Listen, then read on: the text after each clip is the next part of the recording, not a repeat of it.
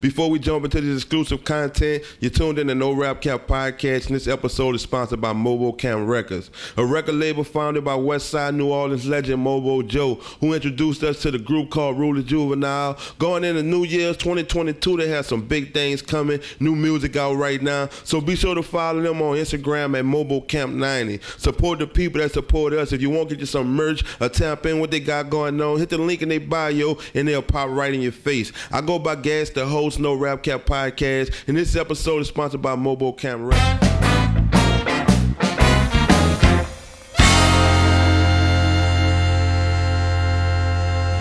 know who you is, who don't know, and where they can find you at on all social media.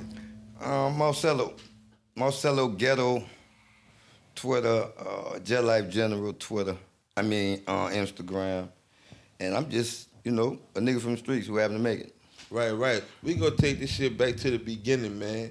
Uh, Marcelo, Uptown, growing up in the Magnolia.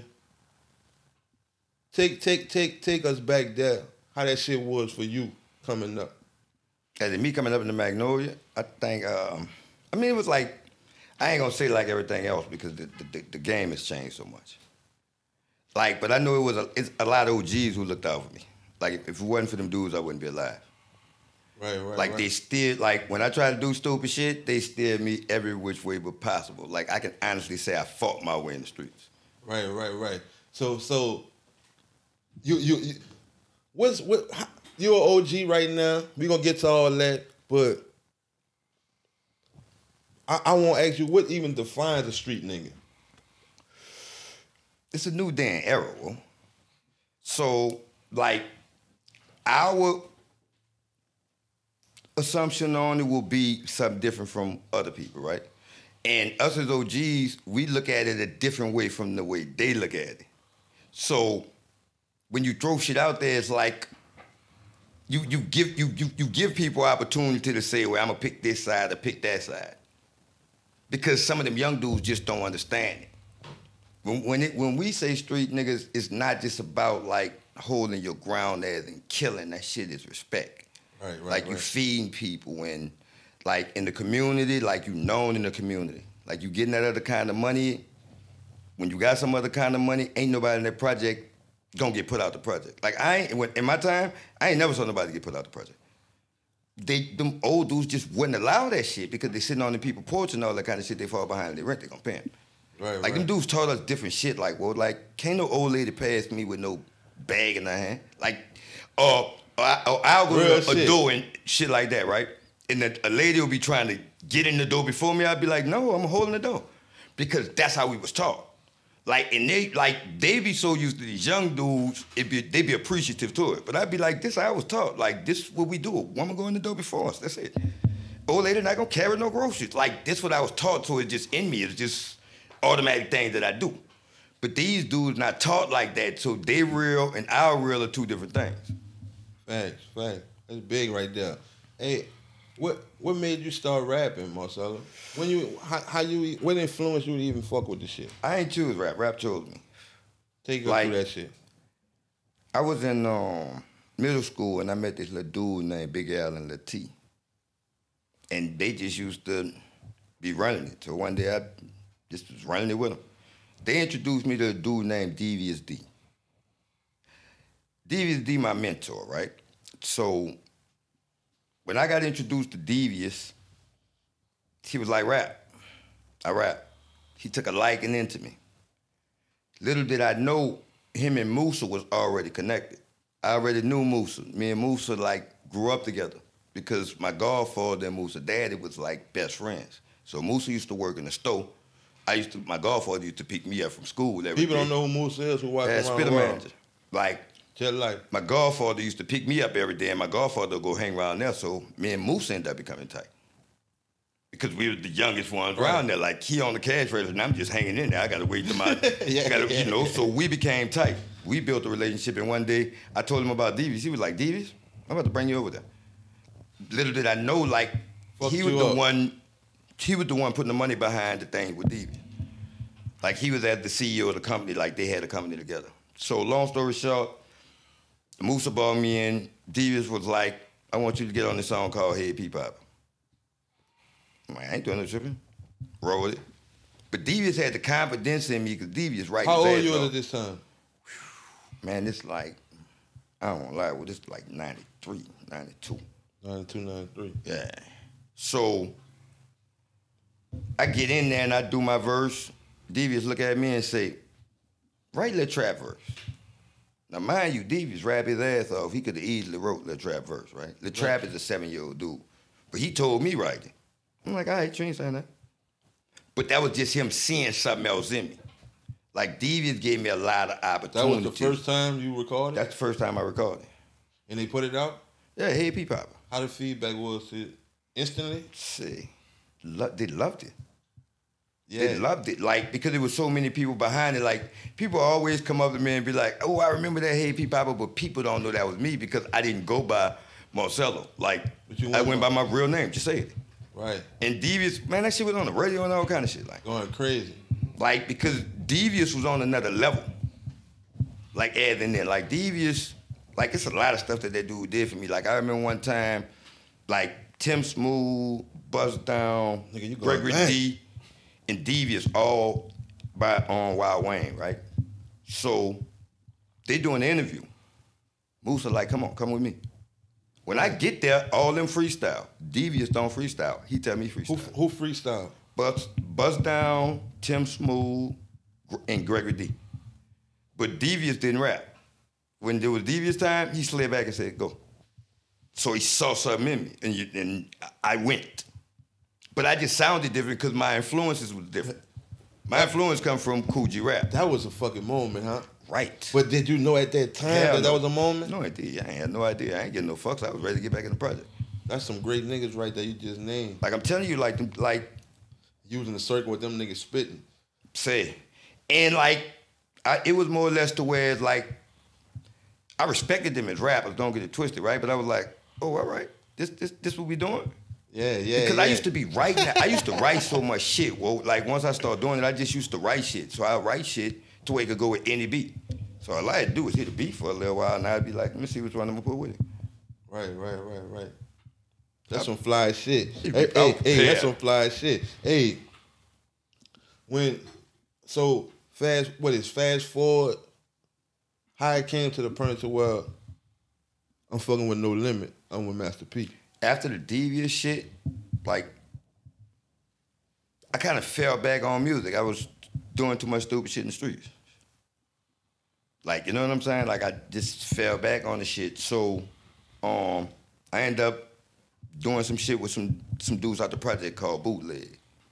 Uh was Future, uh Marye, Out the Magnolia. yeah, Future Marye, Legal Locksmith, um, Miles Scaletti, and Lanino. Right? So we formed the group. And like that's who gave me my name. Like my partners gave me my name. Like they was like, yeah, because I ain't know nothing about that shit. And then I, before they gave me the name, like my partner Legal Locksmith and um and Miles Scaletti gave me the name. So I just checked out the name. I was like, cool, because we all was doing like mafia names. I started doing stuff with them, and it's a my my, my godfather Victor Newman ended up getting a lawsuit. When he got the lawsuit, he was like, "I'm a, I, I, I, know you can rap. I want you to rap."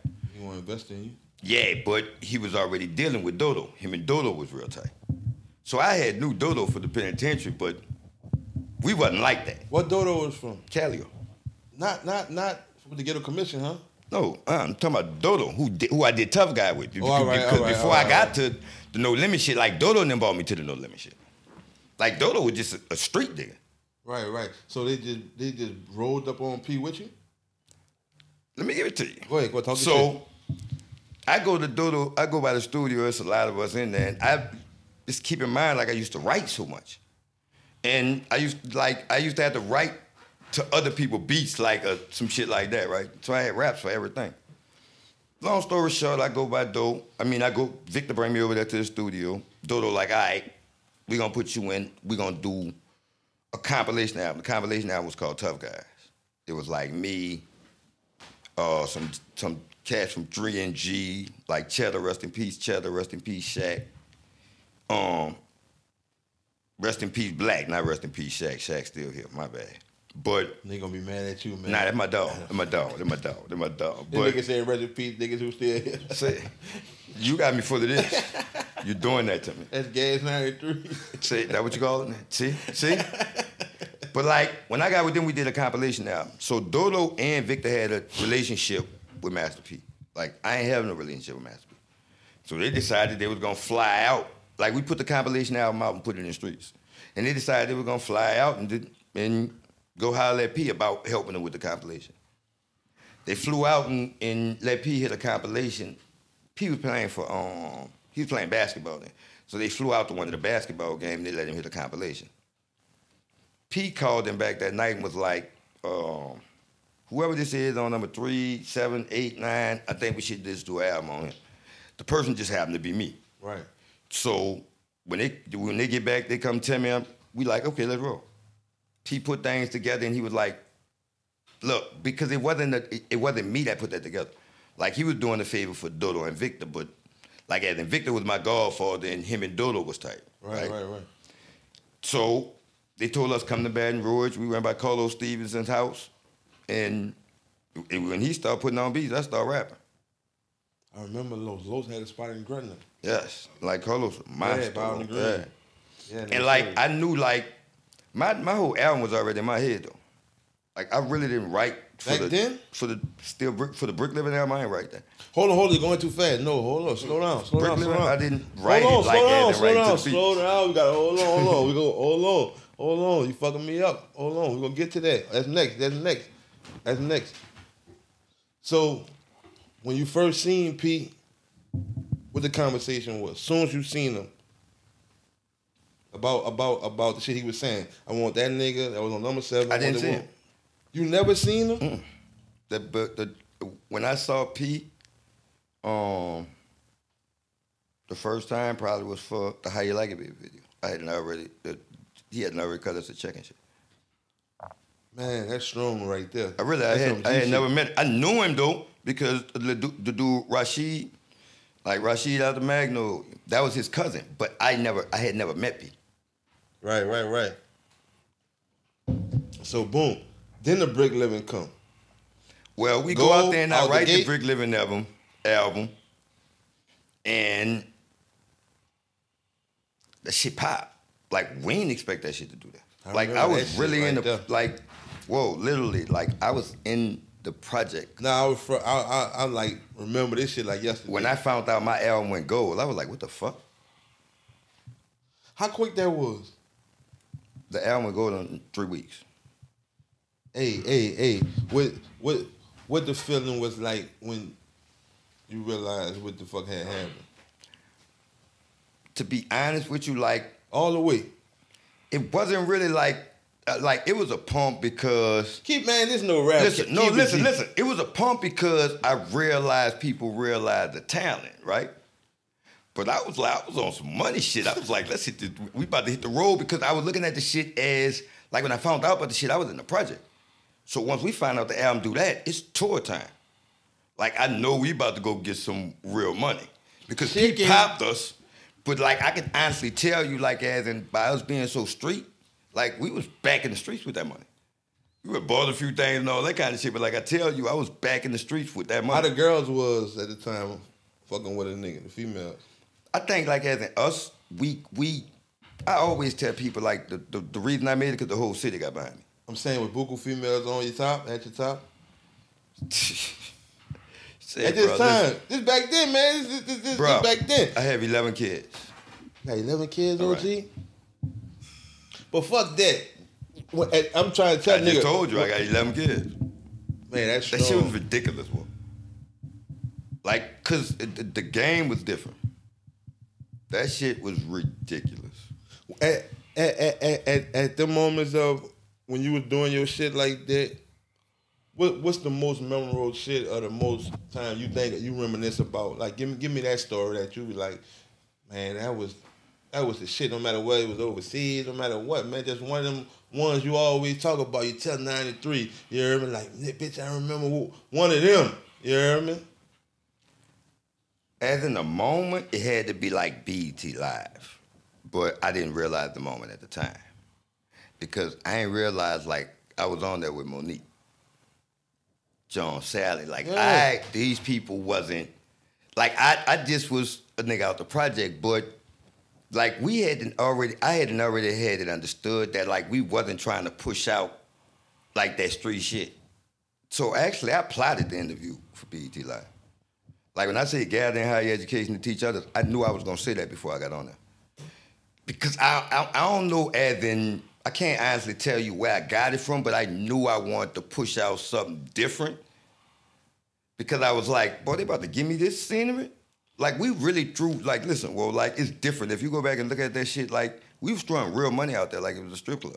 Right, right, right, right. On the way to that motherfucker, we like say stop and get two thousand dollars worth of ones. We just gonna throw ones. The driver like, we can't stop at the bank. We gotta go say well stop at the store. So we had fives, twenties, like we literally throwing that shit in the crowd. The people were looking at us like we was crazy as a motherfucker. Man, that had to be the best feeling ever, huh? I think the feeling um got better because over time. Because like I saw a narrative that I was pushing without even knowing. Like I don't know what like I ain't I don't know like as in why I plotted to say gather in higher education to teach others. But I knew I was gonna make that statement, right? that shit came to you just like that. Like I think me and Doe used to always be talking about ghetto, ghetto, ghetto. So I just went made up something that ghetto meant. Right, right. But I knew right. it was gonna stick like in because I knew where I was at. Like I ain't know Monique and all them kind of people was gonna be there. But I knew it was gonna stick because it Right, made right. sense. That's BT Live. That's right. Right, I gotta do better than just music. Yeah, yeah. I yeah. gotta stick them. Boy, that's a New Orleans nigga. I gotta for right. boy. I, I was That plotting. I ain't lying. I was plotting. I ain't no sense in me lying. I Real plotted. shit, real shit, real shit. Cause you gotta realize the people that was going on that motherfucker at that time. Like, and I just happened to get that spot. I'm like, boy, we gotta figure this out. Right, Like, right, I'm right. plotting. How it came to the point to where this shit started ending with no limit? What happened? Like, what people don't understand is this, right? I never had a deal with No Limit. Like, P just agreed to executive produce my album. We took ourselves out the out the deal. Like, that was probably one of the biggest mistakes we made. Like, that's like Why you why you say that? because Doe got killed. After you took yourself out the deal? I w- we was working on an independent album, right? If we maybe if we wasn't working on that independent album, we'd have got that other five hundred thousand, and he wouldn't have been in that predicament. But we start understanding the game of it, and like we met Russell Simmons, and Russell Simmons was like, if you could get Baby and and and Master P both to say they're gonna support you, we got you. So we had a deal on the table, like the the, the plan- happen. the plan was this, bro. Like when I put out that um when I put out the Streets Got Love for Me album, nobody sold more records than me but um Trick Daddy. That was the year when Trick Daddy came out. But independently, nobody sold more records than me. But like Adam, we built relationships with people from Priority. So they was like, go independent. And then we met Russell Simmons and he was like, you could get more money. And I think the biggest thing was one time we went to P and we was like, what's up with the second single? And P like, we're not doing a second single. And we was like, why? He was like, do a new album, get a new budget. He was right though. Because all we had to do was say, okay, we're working on a new album. I could have done that shit in a week. We'd have got 500 more thousand. But we was looking at it like, yeah, then because we knew people and people put us in positions to learn things, we was like, we're gonna do an independent album. We're gonna get both of them on it. So like, I'm, I'm the first person to have, the, al- have an album with Cash Money No Limit on the same album. Right, right, right. I think I heard you speak on that before. That was something about like the Nolia and the Calio coming together or something. You had I, like, I mean, that shit, that's the Hambra video. right, Like the right, Hambra video just is crazy. But it show you how like, yeah, then real motherfuckers could get together when it's about some bread. So, so, so, so, how you even made that happen? I ain't make it happen. That was Dodo and Victor. I was a youngin' back then. right, right. And it was a lot of other motherfuckers. Like it's a lot of other dudes who get credit for that because it's like real niggas out to know you who ain't make no moves on them dudes out the Calio.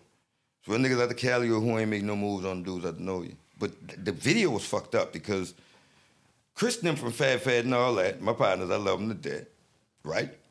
But we messed the schedule up. We're supposed to shoot in the Magnolia first and then in the Calio later on. They set up in the Calio first. So while we was in the Calio, we had to shoot everything that was in the Calio. So after we shot the scenes with them on the roof and stuff, we had to shoot in Rose Tavern. By the time we get to Magnolia, it's pitched dark. That's some live shit, but they telling you facts, bro. It's Right. pitch dark. And them dudes, like at that time, they was at it. So we didn't know how that shit was gonna turn out. Like me and Doe was looking at each other like, how you how, how you feel about making the music now? Like the, how this shit is with the streams and the rap. How how, how, how you feel? You don't feel, you feel, you got the same energy that you had about music back then. You got the same love for it. That shit oh, definitely away? the same love. Definitely the same love for it. Definitely. Um, I mean, I'm, I'm. It's like I, I understand that by me being who I am, it's certain energy that I push out. So I draw a certain audience. So I don't really be reaching. Like I don't Right, reach right, for right, no other audience. Like I do the music I like. So my fan base just gonna roll with me. You know what I'm saying? Like I'm not reaching for another fan base. Like I'm not looking to do. And I'm not saying it won't happen, but I'm just telling you when I go in the studio, I do what I like. Right, right, right. And I know that, it, but it's been working for me, so that feeds my fan base. Like, let them go, they'll go talk about it and all that. I'm not reaching. I ain't doing no reaching for no fan base. Because my fan base been rolling with me all this time, right? you still talk that shit though. Like, oh, don't get it twisted. These young niggas, I would give them a run for their money. Go and that's facts. that- I, would- I would give them a run shit. for their money. And, and ain't no disrespect, boy. Just like I've been through more. Like, I saw more. You got more to talk about. I got a whole lot more to talk about. you might not be putting it together with how them niggas putting it together though. That's the difference, though. because like motherfuckers always think you got to do better. I can't. I can't do what you could do better than you, right? Oh, but I could do me. You ain't with the whip it. Uh, uh. When they do that, then I'm gonna come OG. Because that's their thing, though. They run that though. They, they that's that's what they run. I don't knock it though. Like I just be like, You ain't with That's that. what uh, you do. Marcelo? You ain't with that type I'm of. not changing my. I don't change my style. Like my music always talk about me. If any motherfucker who listen to you my music, you know a yourself whole trying to do that shit. I ain't never step. I don't step into their lane, bro. I don't step. I don't step in their lane. Oh no, indeed, bro. Take it. They'll deal with you. You fuck up and play with them if you want to. They're gonna deal with you. Hey, hey, hey. You get a lot of love in the city. Hey, that's another thing. How you rate the support towards yourself in the city? The support you get. How you rate that shit? You talking quiet or loud? Talking shit. I'm saying you talking how my how it is when it's quiet, as in quiet or loud. No, I'm saying like how you rate the support. I understand exactly what you're saying. I'm talking about quiet or loud. Like you talking about as in how it's portrayed loud, like as in nah. Underground, like niggas know what's up. Like it's a lot of these young niggas I help, and I don't ask them niggas for nothing. But as in like, I think like the OG shit is portrayed wrong. That's a go ahead. Yeah, that's that's nice. that's Because nice like point. it'll be a lot of niggas who like expect shit from these little dudes and all that kind of shit, right? And so what you're doing is when you when you expecting them to be you, like you want them to you want them to do shit that you wish you would have did. So sometimes you'll steer the wrong way because he don't want to do what you want him to do, but that's not his identity. That's your identity you're trying to push into him. Like I just reached. And I say, how can I help you? what make you an OG? you got to be helping, man. Like it's a lot. Like I think it's a lot of motherfuckers who get credit for being Not OGs just no old who just old niggas. Old niggas is just niggas who last, and that's like that's the that's a big thing because, to be honest with you, like that's what's represented for the OGs. So you saying to be an OG, you gotta help. What the fuck you doing? Like if you're a 40 year old nigga and all you doing is selling drugs, you're a flunky. What you what you could you can't teach nobody nothing. Like what you learned.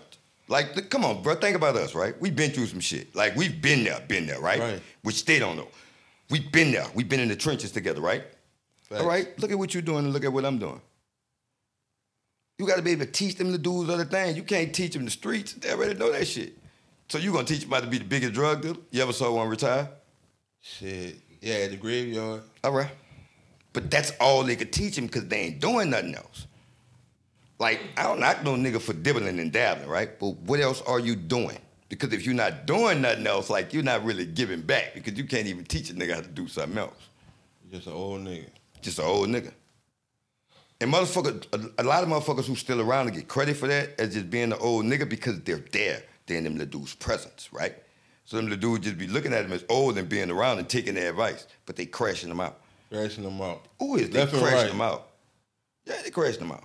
For sure. Because they'll let one of them little dudes walk past them saying I'm about to go kill somebody and just be like, it's cool. Boy, ain't no young boy. Ain't I don't I, I don't give no fucks. Ain't no young boy about to walk past me and just be like, I'm about to kill no somebody. Say, gee, I'm about to down him. You about to down who? But but but what you what you think about like the other angle, the other angle of motherfuckers saying, man, that ain't my business. I ain't trying to get into that. that's No, bullshit. check, check it out. Check it out. Check it out. That ain't my business. I ain't about to get into that. Cause that shit could backfire you on me, and I fuck around and get killed. So so so, cause niggas wildin', man. Niggas be on a pill. Niggas on a, stay out my business, OG. I fuck with you. I respect you, but stay out my business. Sometimes And, you- sometimes listen, you gotta know when to fall back. You can't just be over I think trying we to don't understand what, like, as in what we doing. You don't tell them the dudes what to do. You tell them it's another option. Like, we be too busy going there thinking you gonna tell him exactly what he gonna do. He's not gonna accept that. You can't, like, I always make this as an example, right? I don't care if I don't know a young dude, right? And he walking past me to jump off a bridge. I'm not about to hold that boy while he jump off no bridge. What I'm gonna do is when he on his way down, I'm gonna say, say, YG, let me holler at you for a minute. Right. I know you going to do what you going to do. Give me a minute. Let me holler at you. And I'm to tell him all the people he going to hurt, the things he about to sacrifice, That's me though. right? And then I'm to get from around you. Now, if you go jump off that bridge, that ain't got nothing to do with me. But I will feel like a jive ass nigga to let that little dude pass me by and just let him go do that. Like it's a lot of old niggas who helped me. Like you think about the many times we was about to crash out, right? And some old nigga said, "Boy, come here. What you tripping off?" And you had and you had enough respect for him to be like, "All right, at least I'm gonna hear him out." Then what that nigga said make a whole lot of sense. Right, right, right. So he right. stop you from crashing out. Sometimes we turn our head when they about to crash out. They be like, "Look at his little stupid ass." Boy, you OG ain't no shit. OG, no, cause you don't give no fuck about him till you kill your fucking kid. Now you want to knock his ass off, man. You could have helped that shit. Like we don't move until the shit get on our steps. That's facts. That's how that shit normally go, man. That's how that shit normally go all over every hood in America. That's how that shit normally go. Hey, so so Marcelo, if somebody watching our podcast, they fuck with you, what they could do to support Marcelo movement? Let them know you got you got your podcast, you got the new shit you got going. On. I mean, I got the podcast, Let 'em know. Chopping Game, me and my OGG. We just dropped the hype. I mean, I'm just out here. Let them know where, where, where to find the podcast at. Podcast, you find it on um, Boom Multimedia. Um, we got a lot of things going on. Like I'm about to shoot a series called the OGs. Like I'm, I want, I'm about to tap into this, this, this um, movie shit, series and shit like gotta that. get me in there, man. Boy, like 50 got me fucked up, boy. That 50, boy. Fucking it up with that. Uh, No, no, I don't mean no, no. I mean that 50 got me fucked up to think I don't want none of that money that he That's what me. I'm saying. Nigga Yeah, fucking man, it that up boy with that fucking money. boy. That shit real. Man, I want some of that. Like you think we can't tell those kind of stories? Boy, I want in. Man, And- nigga got so many stories to tell. I mean, 50 just showed you it's possible though. Like sometimes as a nuts, like you got to see when somebody show you it's possible and go. Well, 50, that what you're doing? 50, okay, power went up. All right, I'm coming. right, right, I ain't got to right. get your kind of money, but oh, I'm coming. I'm, I, I won't jump into that lane.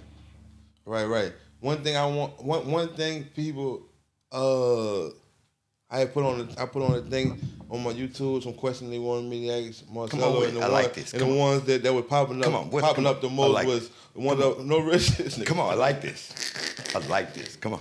The ones who popping up the most say, man, ask him is him and Curren$y blood brothers. Everybody asks that, right?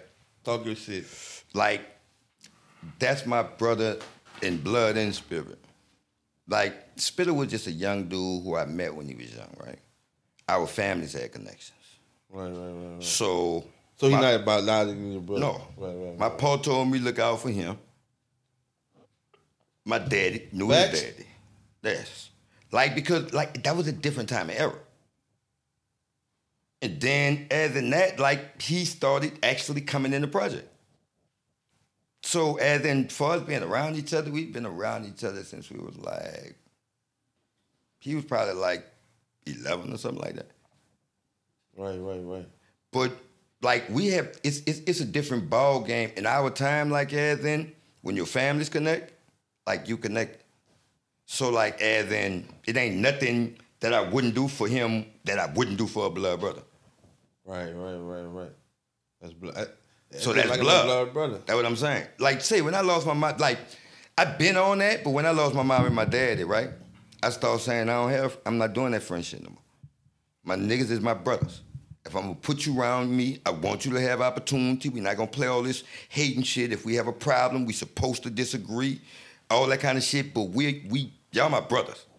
Right, right. Because right. I start protecting myself different. Hey, that that was the main one though, nigga. Used to, but you you you you used to everybody. People get that a lot, always huh? ask that because they don't understand friendship. Like friends more sometimes friends be more important than family, well, because that's a person who doesn't have to love you. You got to know the next one. Come on. What happened when you and Mario P? Say, well, I can I, I'm glad you said that, right? Cause let me put my, I just saw that little dude, right? And let me tell you this, this real facts, right? That dude was going through something. No, no, no. Hold on, hold on. Before before, before you tell you, what did that was? Did you throw? Did you throw a drink? Yeah, I was wrong. All right, so go ahead. Talk. I I, was I, a go thousand tell, tell me the shit. Tell me the run the shit. Like I I I I I I, I pushed my I pushed that dude into that. And I was wrong. She was going through something. That's what you was at. with. Right. But I wasn't like I was in the wrong state of mind. Well, like my partner asked me this, right? I'm glad you said that because my partner Vault, right? You know Cali Vault, Yeah, right? yeah, yeah, That nigga. was like, so say, bitch, what happened with you and Mario P? now, right? boy. Bitch, you throw a drink on the nigga, I said, and you go apologize on, on Instagram. I said, hold on, let me show you something. I said, one thing that I realized was I was wrong. Right? I said, listen, that shit was about almost nothing. And me getting in the wrong mode, I'm think he's talking aggressive, but that dude going through some shit. And I've already reached out to him and fucked with him, fucked with him, because I know he going through it. So to me, to, to him, it's like a slap in the face because I know what he going through. Right? Right. I forget it. When we go through the conversation of it, I provoked him. That's the dumbest OG shit. Like I felt bad about that shit. And niggas say, why you why you do it on social media? Because it happened publicly. I asked him, I ain't never called this phone and said I apologize. That didn't happen behind closed doors. That shit happened in public. So that's how I apologize. I ain't got no problem with saying I'm wrong. I was wrong. Dude ain't did me nothing. And I fuck with him, fuck with him. No, I'm saying what possessed you a nigga to throw the drink? That's me provoking. That's me getting back into being stupid mode. Like that's why I'm telling you the way I was completely wrong. Oh, and you were drinking too, probably. Oh, we I was that was wet. That ain't no excuse though, Wo, because I like I'm, I'm gonna be honest with you, right? You probably would have did that sober. It ain't no excuse, but you probably wouldn't have did that sober though. By far, I would have never did That's that. That's what I'm saying. No. But no, like I'm saying, like as in even as that, like the soul, like niggas be talking about getting drunk and all that kind of shit. Like you still gotta respect each other's friends. Like right, And if I consider you a friend, you you you have the, you get you you could get away with certain shit. Right, right, right. So you could say For some sure. shit, and I can say, all right, bitch, you feeling like that tonight? I'm gonna get the fuck from around you, but tomorrow, bitch, I'm gonna call you and see if you feel like that. Right? Right, and you probably won't because you was in a different zone. I ain't get that dude that opportunity. I provoked that shit. you admit you was wrong. Was I? I was wrong as a motherfucker. bro. That's where it counted. And I wasn't scared. That's why, and and that's why I did the shit publicly, like, because it happened publicly. Like niggas always do some jive shit publicly and then call you on the phone, say, "Well, my bad." That shit not real. Well, it's not. But but like, as in me, I felt bad about the shit because like I I push a different narrative, right? But as in me, I, I also show you I go through mistakes. I, I make mistakes per- too. Paul, listen, God ain't done with me, and I be at church every Sunday.